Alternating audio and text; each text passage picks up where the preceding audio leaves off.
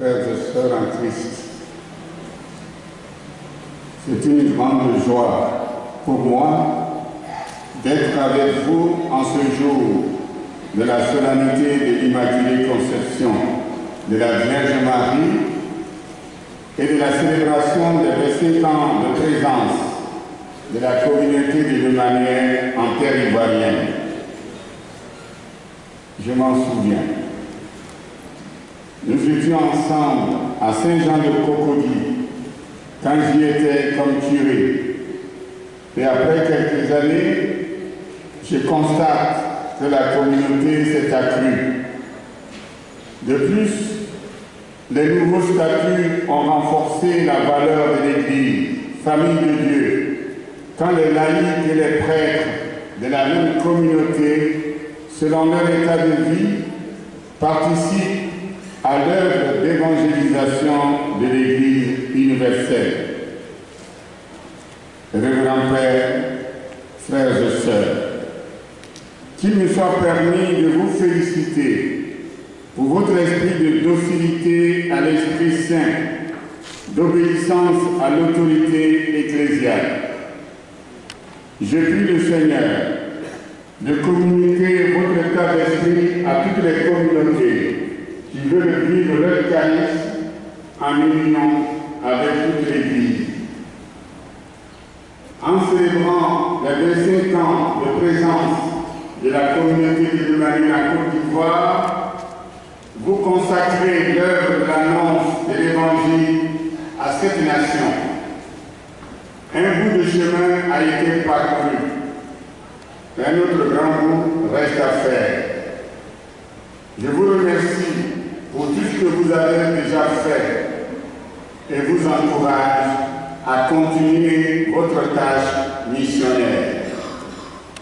Aujourd'hui encore, les hommes et les femmes de ce temps ont besoin de témoins authentiques de Jésus-Christ pour le service pastoral de l'amour, de la vérité, de la paix et de la justice. Aujourd'hui plus qu'hier, l'univers entier est en permanente quête de stabilité politique, de redressement économique, d'amélioration des conditions de vie de tous ceux qui habitent notre planète Terre, sans négliger l'avènement d'un monde de plus en plus sécularisé et déchristianisé. Dans un tel contexte, il apparaît clairement que la présence de Dieu dans la vie des hommes est un défi pour les disciples du Christ, pour ceux qui ont mis leur foi et se placent au cœur de ce monde comme des sentinelles. Face à cette tentative d'évacuation de la présence de Dieu dans notre monde, la vie d'une communauté chrétienne comme la vôtre doit être toujours la lumière qui resplendit dans les ténèbres de l'individualisme, de l'égoïsme, de l'exclusion. Oui, c'est au cœur de ce monde qui veut justement ignorer Dieu, construire le monde sans Dieu, que votre communauté doit porter l'histoire de la vie de Jésus-Christ comme le gage d'un salut qui prend Dieu sa source et son accomplissement. À l'homme qui combat Dieu, il faut annoncer sa présence. C'est ce que vous faites depuis 25 ans dans ce pays, en parfaite communion avec les autres membres vivant dans d'autres pays. Oui, quelles que soient les angoisses et la peur d'un lendemain sans vrai bonheur, Dieu est avec nous pour nous faire goûter la grandeur de son amour. Grâce à votre apostolat, le Seigneur va chercher la brebis perdue, soigner celle qui est afin que l'homme créé à son image et à sa ressemblance retrouve sa dignité. C'est une noble mission que l'Église tout entière vous confie et que vous avez accepté d'assumer au regard du dynamisme pastoral qui vous habite et de la volonté de solidarité, de partage qui éclaire toute votre vie communautaire. Votre communauté porte le nom Emmanuel, c'est-à-dire Dieu avec vous. Comme Marie, vous devez donc éviter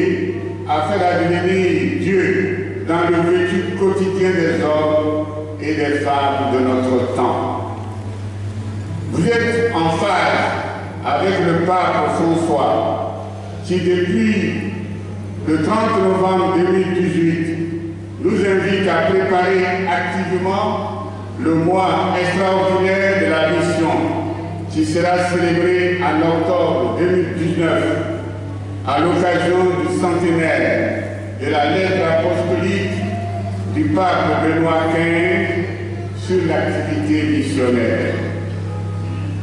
Comme vous le savez, et c'est très important, comme vous le savez, il ne s'agit plus de se contenter d'être bien ensemble au sein d'une communauté, mais bien de sortir pour porter la bonne nouvelle de l'Emmanuel à tous.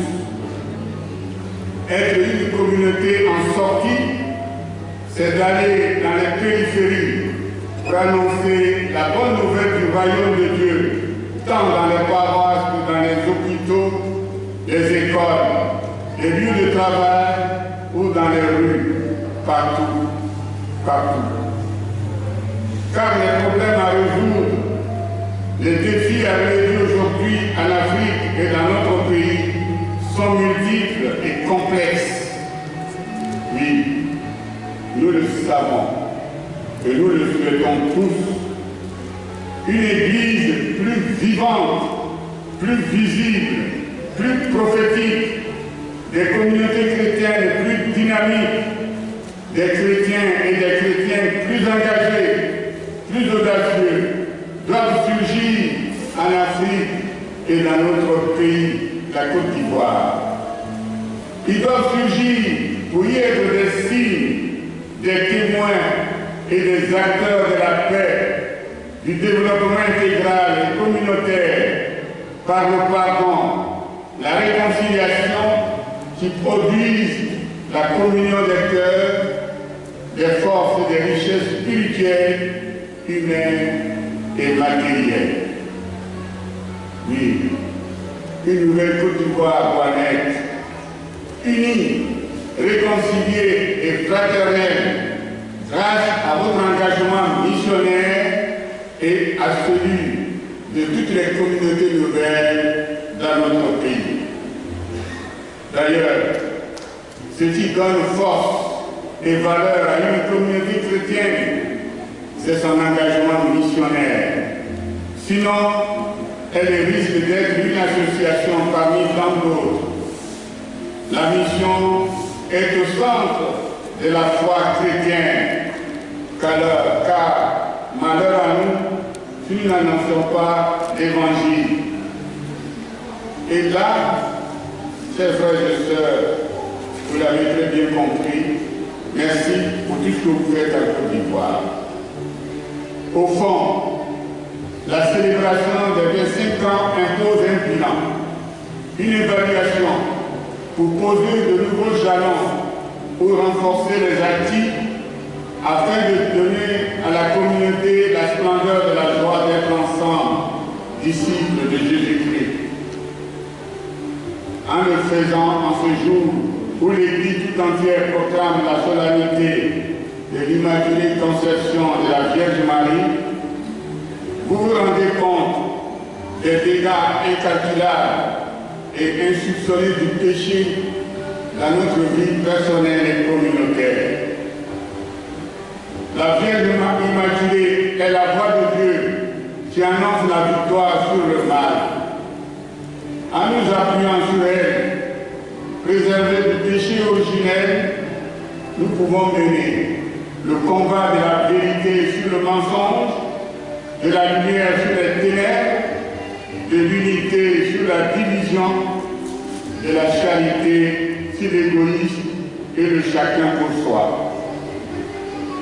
Oui, frères et sœurs, aujourd'hui, il est plus que jamais nécessaire de promouvoir la responsabilité sociale des, des intellectuels catholiques qui sont aussi l'Église, dans un contexte où les populations ont soif de justice, de vérité, de pardon et de réconciliation, afin qu'ils soient par leurs analyses, leurs discours et leurs actions des semeurs d'espérance, en proposant une réponse chrétienne aux questions sociales et existentielles des populations africaines.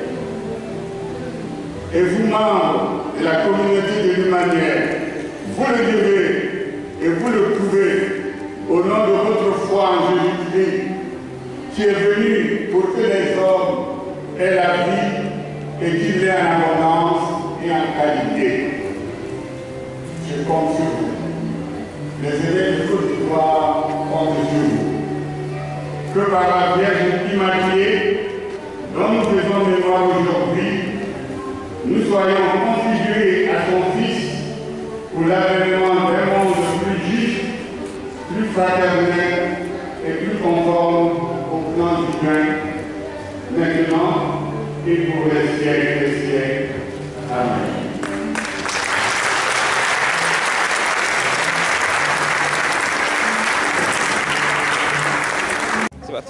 Chers amis, alors je suis Pierre-François Graffin, le délégué du modérateur général de la communauté de l'Emmanuel pour la zone Afrique. Et aujourd'hui c'est avec une grande joie que je suis présent à Abidjan pour fêter avec mes frères et sœurs ivoiriens les 25 ans, donc le jubilé d'argent de la communauté d'Emmanuel en terre ivoirienne. Nous venons de vivre une très belle messe où Monseigneur Boniface nous a encouragés à vivre ce que nous sommes. Et c'est pour nous une grande source de joie et de grâce de voir cet encouragement de l'Église. Alors la communauté de l'Emmanuel en Afrique, c'est à peu près 2600 frères et sœurs répartis sur une petite vingtaine de pays sur l'ensemble du continent africain, depuis les îles du Cap Vert jusqu'à l'île Maurice en traversant tout le continent africain. Et dans ma mission avec mon épouse, nous avons la joie de très régulièrement aller visiter toutes ces communautés et de nous rendre compte du dynamisme missionnaire que, que vivent et que portent ces communautés. Dans le monde que nous vivons aujourd'hui, traversé par les violences, que ce soit sur le continent africain ou même aujourd'hui même en France, comme nous le savons, eh je crois que la communauté d'Emmanuel a un rôle important à jouer. Cette présence dans le monde entier, le Seigneur l'a voulu ainsi, sans doute pour nous confier cette mission de paix à nous et à tant d'autres. Mais voilà, parce qu'aujourd'hui, c'est de cela dont le monde a besoin. Et c'est message, le message que nous a redonné l'évêque en nous encourageant à être des témoins. Je crois que c'est ce que nous pouvons souhaiter à la communauté d'Emmanuel pour les 25 ans qui viennent. Je suis Guilain Lattès, je suis marié avec Marina Seilou et avec mon épouse nous avons trois enfants et nous avons actuellement la, responsabilité de la communauté de l'Emmanuel en Côte d'Ivoire et la dénomination propre c'est le responsable, nous sommes responsables de province Côte d'Ivoire. Et la communauté de l'Emmanuel en Côte d'Ivoire est composée d'un certain nombre d'organes, dont le, les responsables de province, ensuite le bureau de province qui a en son sein deux sous-bureaux qu'on appelle le bureau pastoral qui est composé des responsables de secteur et le bureau apostolique qui est composé des responsables des grandes missions et des services missionnaires. Nous avons ensuite, au niveau des bureaux pastoraux, du bureau pastoral, dans chaque secteur, nous avons des responsables de maisonnées.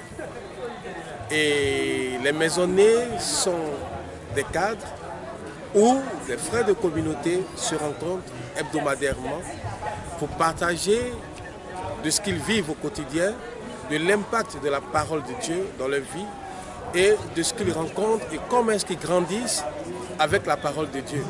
C'est aussi le cadre où chacun s'édifie, chacun apprend à grandir avec l'autre, car il nous est dit, et nous le savons, qu'un chrétien seul est un homme en danger. Mais un chrétien appuyé sur un autre est une citadelle imprenable et inébranlable. Alors voilà un peu ce que c'est que notre maisonnée. C'est vraiment le lieu du partage de la parole de Dieu et c'était un haut lieu de vie fraternelle. Car les charismes de la communauté, nous le savons, ce sont l'adoration, la compassion et l'évangélisation. Sans vie fraternelle, sans amour mutuel les uns pour les autres, il nous sera difficile de pouvoir répondre à cet appel du Seigneur dans nos vies. Car le Seigneur nous a donné cette grâce qu'est la communauté de l'Emmanuel et il nous est demandé, nous aussi, en répondant, de le répondre avec joie et avec amour. Et c'est ce que nous essayons de faire au quotidien en Côte d'Ivoire. En Côte d'Ivoire, nous avons un certain nombre de services en mission, dont Amour et Vérité, qui en charge le suivi, l'accompagnement des couples, des familles. Et nous savons qu'il y a beaucoup de dénombrements, démembrements de familles. Nous avons les familles monoparentales et nous avons les, les familles proprement dites des couples. Et nous savons aussi qu'il y a beaucoup de couples en difficulté. Et Amour et Vérité, dans son ensemble, prend en charge toutes ces composantes de la famille. Car son rôle, c'est d'accompagner, c'est d'aider les couples à pouvoir cheminer et répondre à l'appel de sainteté à laquelle nous invite le Seigneur. Aussi, nous avons ce qu'on appelle chez nous le pôle jeune, qui est en charge la pastorale jeune. En charge de la pastorale jeune, nous avons aussi les écoles de charité et de mission où nous apprenons les jeunes à, aimer la parole de Dieu, mais encore non seulement aimer Dieu, mais aimer l'Église. Nous sommes en Église. C'est l'Église qui nous met, qui nous envoie en mission, nous ne nous envoyons pas nous-mêmes. Et sans mission d'Église, vraiment, nous n'avons pas d'esprit. C'est de cette mission que surgit cet amour de répondre à la volonté de Dieu par l'Église et toutes ces composantes missionnaires nous aident à pouvoir aider nos pères pasteurs, nos pères évêques ici à répondre à cette invitation de Christ qui est d'annoncer la parole de Dieu, annoncer la bonne nouvelle. Il y a le service Samuel chez nous qui s'occupe des enfants. Aujourd'hui, combien de fois nous savons qu'il est important d'annoncer la parole très tôt, la parole de Dieu très tôt aux tout petits. Car n'oublions pas que nous ne devons pas minimiser l'âge des tout petits. Ils ont une relation profonde avec Dieu. Il y a de nombreux saints tout petits et ce n'est pas moi qui dira le contraire. Alors faisons de nos tout petits des saints. Et ils en sont capables par grâce du Seigneur. Quel bilan faites-vous de 25 ans Les 25 ans de présence en Côte d'Ivoire, nous avons dans la communauté de l'Emmanuel, disons depuis 2004, notre premier diacre. Et aujourd'hui, nous avons 11 prêtres.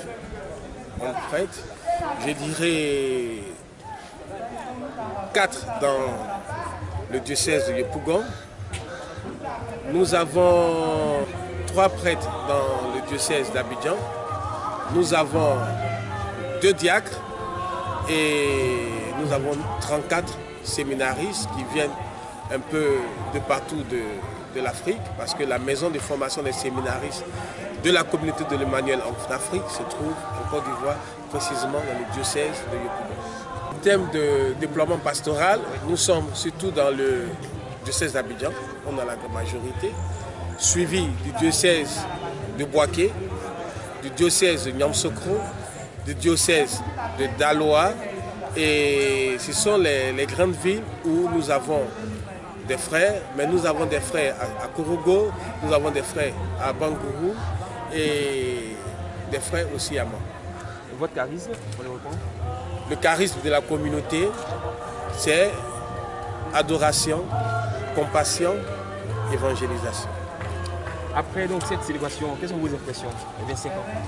Les 25 ans, je crois que Monseigneur nous a vraiment enseigné, nous a donné vraiment un mot d'envoi en mission. Pour moi, ça, ça répond à ce que nous avons vécu tout ce temps.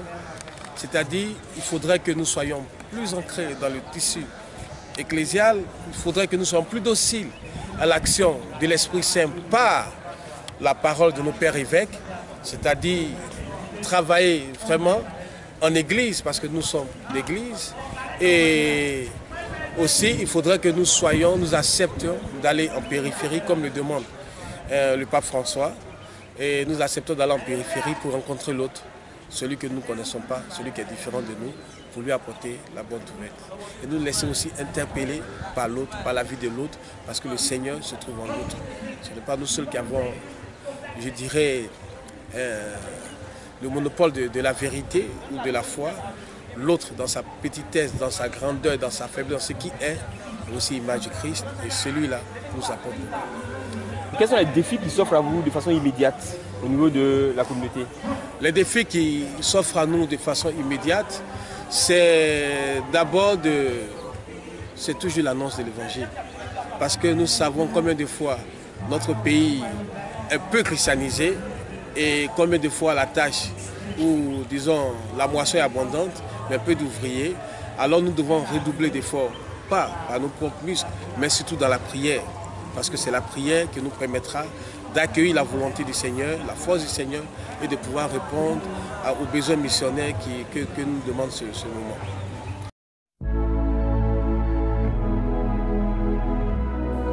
Kefa TV. Kefa TV.